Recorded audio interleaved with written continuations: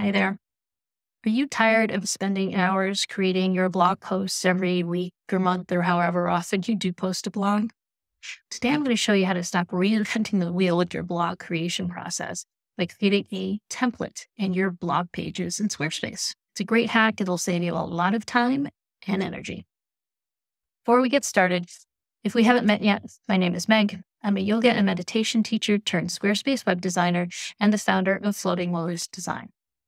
I help you elevate your wellness website and business without the tech overwhelm.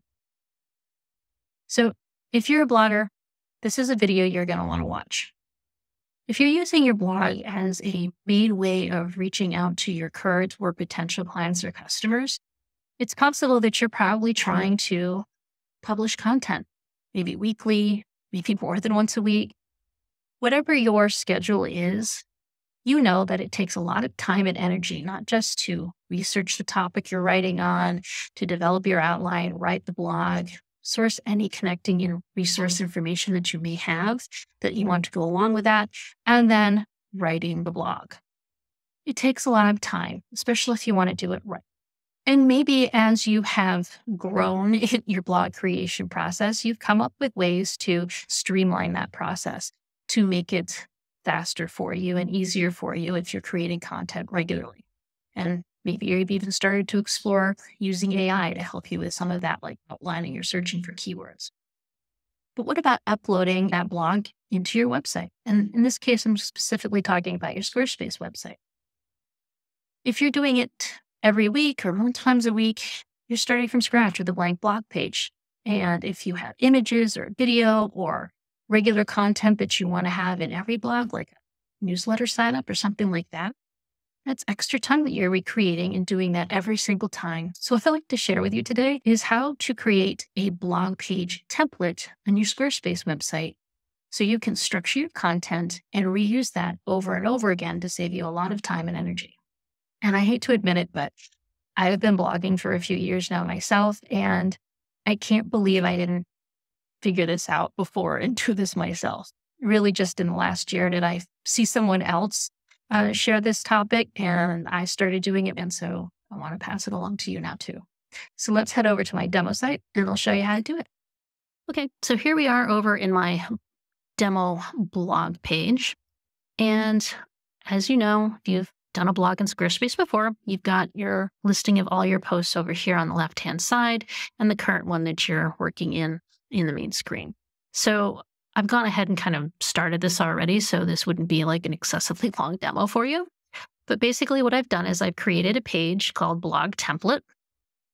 And when I open that up here, all you're basically doing is creating a fake blog post. And you're not going to publish it, it's always going to stay in draft mode.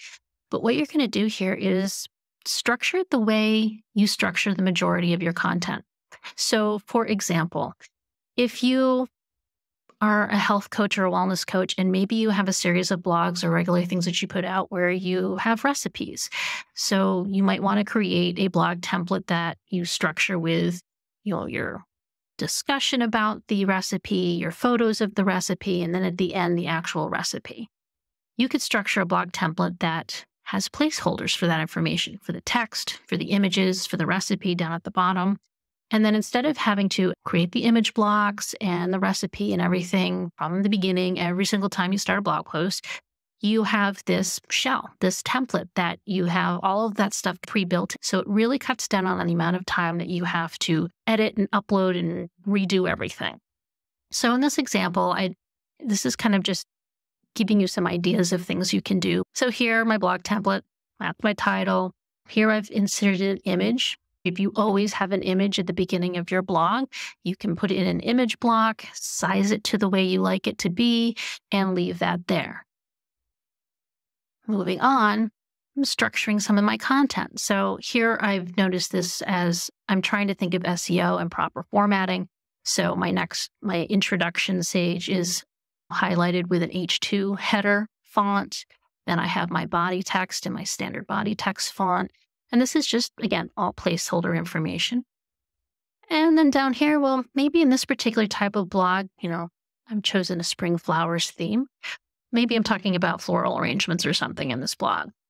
And maybe in each blog, I highlight a series of images every time. So I have some images here.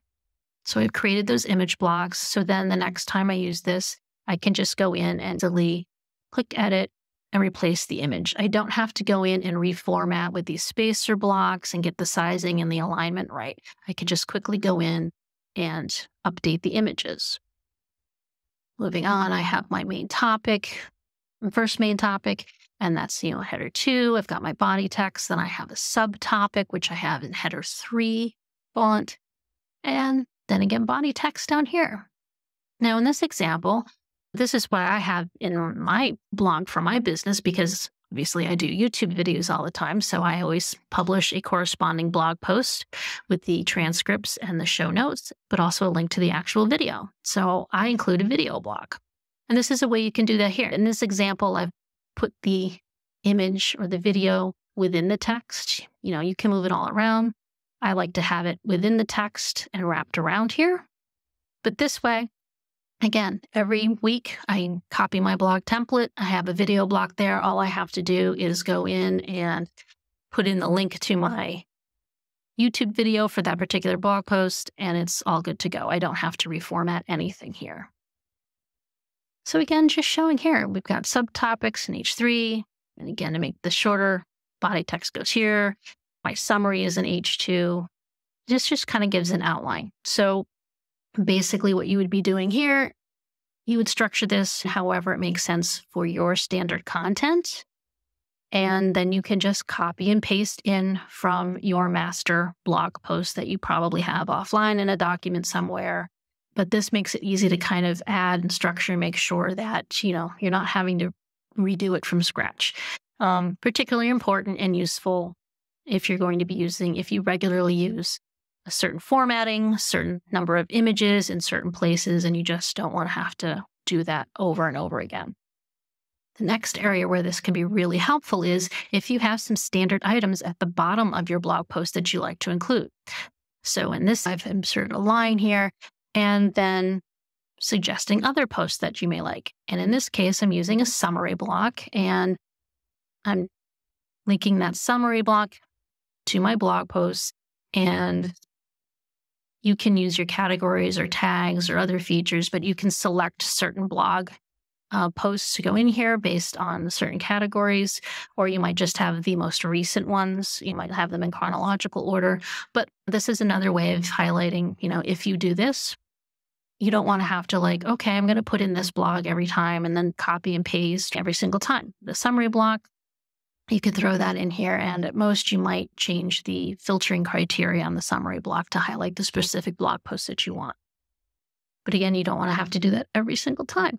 Then below that, standard newsletter box. So maybe you want to invite people to join your community.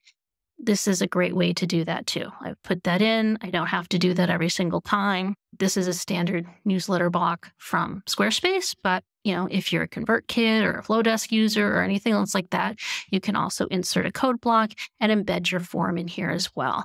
But that way you don't have to do that task every single time you upload a blog post. So lots of opportunities that you can do here. Maybe you have a free resource um, or something like that. You can create a section, an area here where you put in that standard form or free resource or download. And so there you have pretty quickly and easily. Maybe you spend a half an hour to an hour, depending on how much of a perfectionist you are, but take a little time to create a blog template.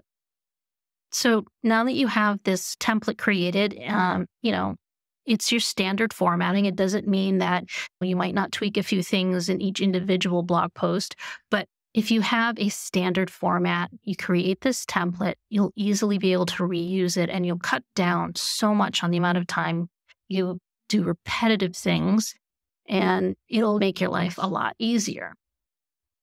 So, a couple things to note here. You know, it'll always remain as a draft, like this one's published, but I have some other templates here that are in draft, but you'll always want to keep it in draft mode because you're not going to want it to be published or visible. So I can easily back here, switch this back to draft now that I've completed it. But then anytime you want to create a new post, you just hit duplicate.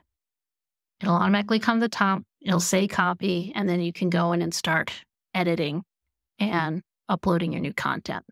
Just make sure when you do, when you go into settings, you got to check everything. Make sure you update your post URL so that it's correct and will match the content that you're uploading.